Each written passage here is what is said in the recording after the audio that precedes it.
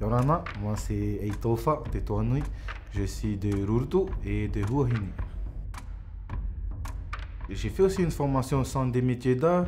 J'ai fait deux ans, j'ai pas terminé ma formation là-bas. Par la suite, j'ai continué à tatouer chez moi et à faire de la sculpture.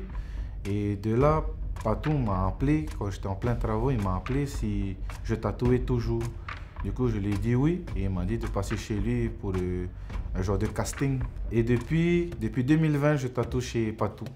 Alors, ma première participation à un festival, donc ça, c'est le festival de Fa'a. Fa'a a tout est tatou. On va dire que c'était en 2017, je crois. Et du coup, j'ai gagné un prix en moderne et en patoutiki.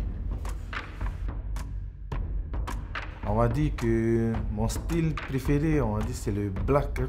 Ça peut être du black euh, patoutiki ou du black moderne. Ce qui me fait vraiment aimer ce style, et c'est plutôt les grosses masses noires que j'intègre à l'intérieur.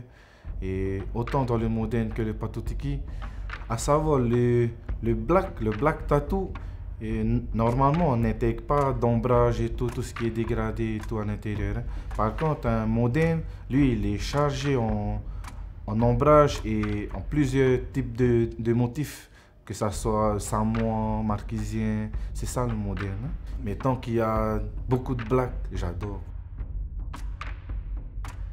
Alors, si vous avez apprécié ma présentation, n'hésitez pas à me contacter sur les réseaux sociaux et sur ma page personnelle Eito Fatato. Venez me rencontrer chez Tattoo by Patou, ce serait un plaisir de réaliser vos projets.